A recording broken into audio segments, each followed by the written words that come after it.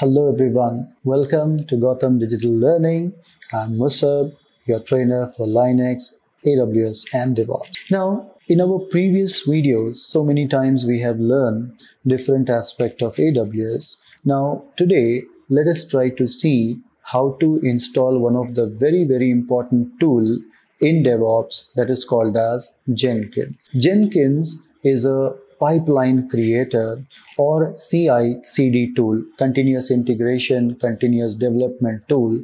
In this CI CD pipeline, everyone will put their products or their steps into it so that people can use it and an end product will be created very fast. So in order to install Jenkins, we are going to use a Linux machine. In this Linux machine, first step is that you have to install Java. Now, before I can say anything, you can simply go to Jenkins website. And what is the website for Jenkins? Jenkins.io. So when you go to jenkins.io, it explains you that what you can do. So in Jenkins, you can create projects and in that projects, people can upload their stuff and in a single pipeline, everything will be done in a very nice and faster way. In order to set up Jenkins, you have to go to download. And of course, Jenkins is not the lone. We have so many other tools also that you can use like Bamboo and Hudson, but Jenkins is the most used tool in industry. Over here, you see it is going to give you two options. Download Jenkins 2.414.3 LTS and the other one is download Jenkins 2.4.30 which is a stable version please never go for LTS. LTS is like a beta version that is getting under process. So it is not recommended to go with LTS. Better to go with the latest one. Now here you have to select on which environment you are going to set up.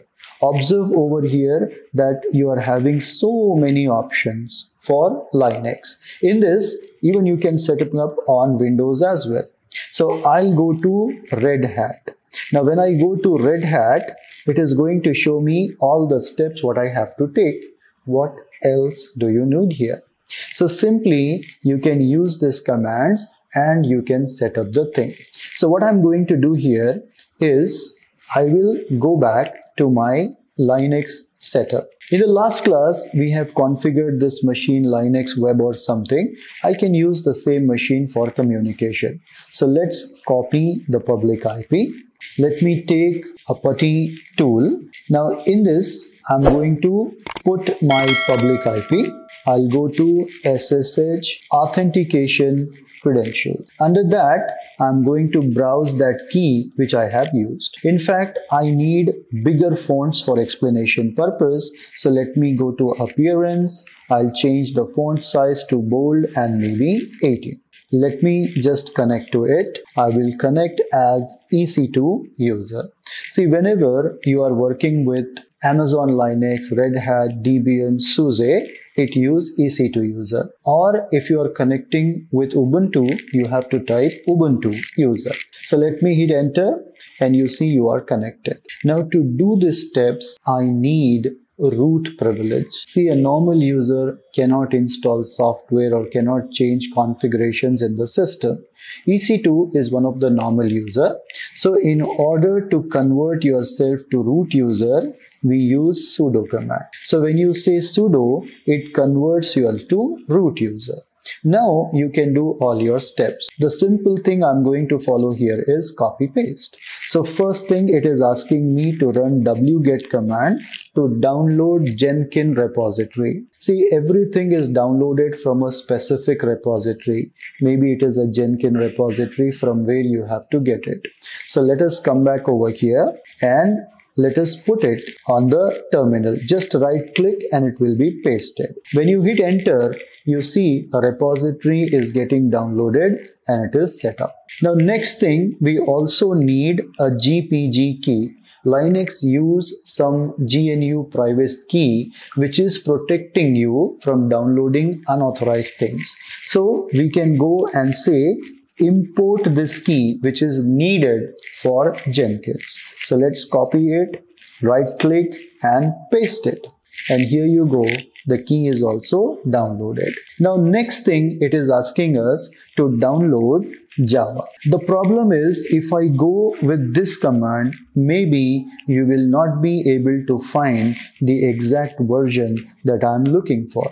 The moment I hit enter, it might search and it may return that there is no such software available. So what we can do here is we can just ask it to download simple Java software maybe I'll say download Java 17 or Java 11 whichever you want to download. So if it is available as you can see it is downloading the latest Java version.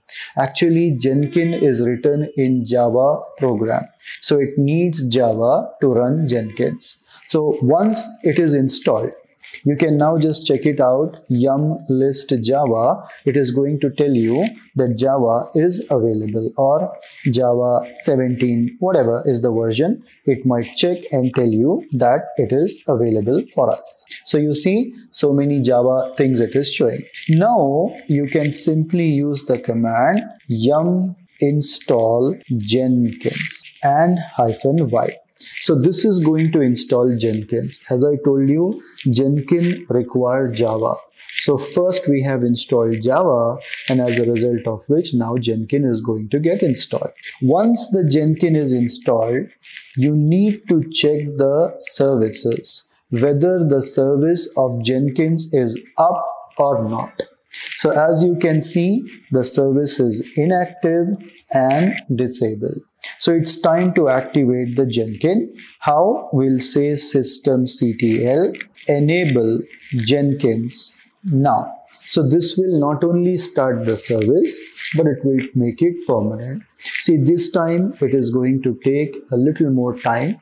It won't be so quick. So let's have some patience and let's see how much time will it take to start Jenkins service. Once the service is started, you also need to do one change in your security group. See, Jenkins works on port number 8080.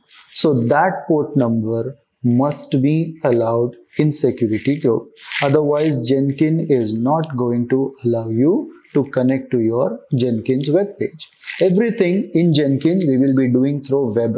So we need that particular thing to be available. Let's see how much more time it is going to take to start the services of Jenkins. It might do some setup behind the scene and after that it will say it is successful. Now you go and check the status. See the Jenkins is now active and it is enabled.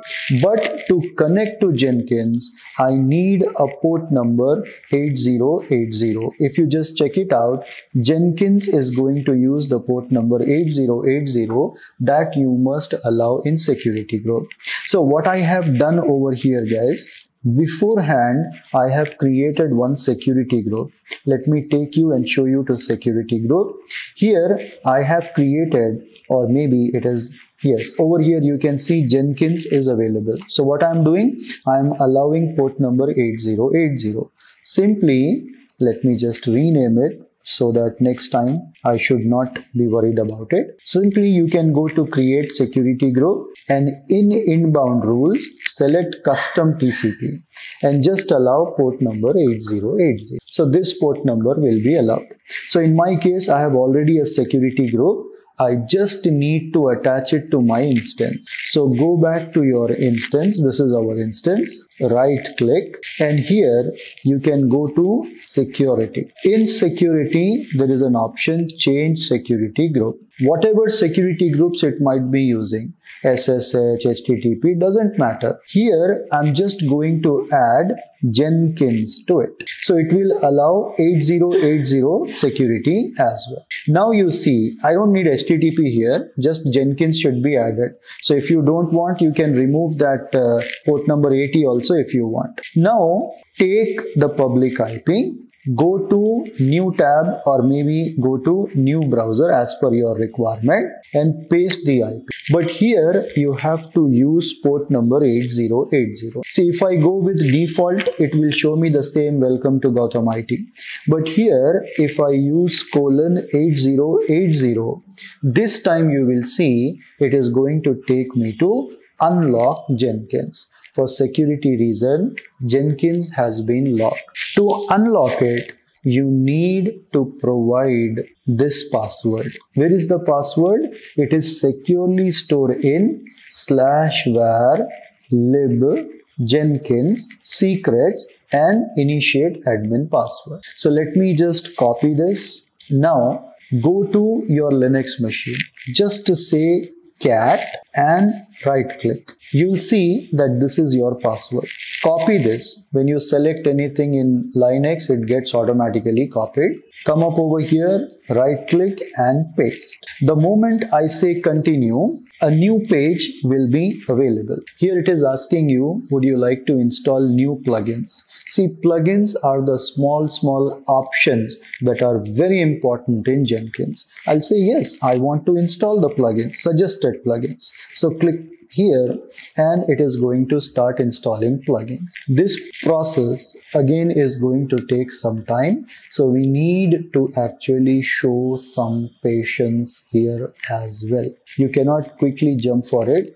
Wait for the process to complete. Then we will set up a username and password that we are going to use every time to log in into my Jenkins tool, we will create pipelines, sources, repositories, so many things you want you can do and you can work with your project. Let's wait for a couple of seconds more till it completes this particular task. Let's see how much time it is going to do. On the right hand side, you can actually see the process is going on and new plugins are getting installed. In this, it is going to install pipelines, it is going to install Git, it is going to install so many important tools that is needed for your Jenkins. Even post installation also. If you want any more plugins just by selecting one option giving the name it is also going to install that kind of plugin and you can easily work with that. Let's see how much more time it will take. See if you have more cpu more ram this process will be super fast. So here we have only two virtual cpu 1 gb ram. It's little slow. But in work environments where you have a huge and massive servers, this is going to be a super fast lightning speed. We are almost there. It is almost about to finish. As you can see the process going on on my screens. Let's see how much more time it is going to consume. We are almost there. See Git, GitHub branch, everything has been set up over here. So almost there. Now it is asking me to create one user that I want to use every time for login. So I'm going to create a user with my name and any password that you want to use two times you have to use that password give the full name whatever you want to give give your pass email address for communication and say save and continue now this will take you into your jenkins. Now here you can see your jenkins is ready. Now all the creation of pipelines everything whatever you want you can deal over here. You can add new items over here. Maybe you can add a project or a pipeline or a folder that you want to share. Whatever you want you can do. Every time you have to come to dashboard and you can manage so many things even adding the plugins and all everything you can do so this is it about how we can use jenkins to install set up and use it. In our next classes we will see more advanced topics and more advanced patterns working with this kind of thing thank you very much for watching this video. See you in the next video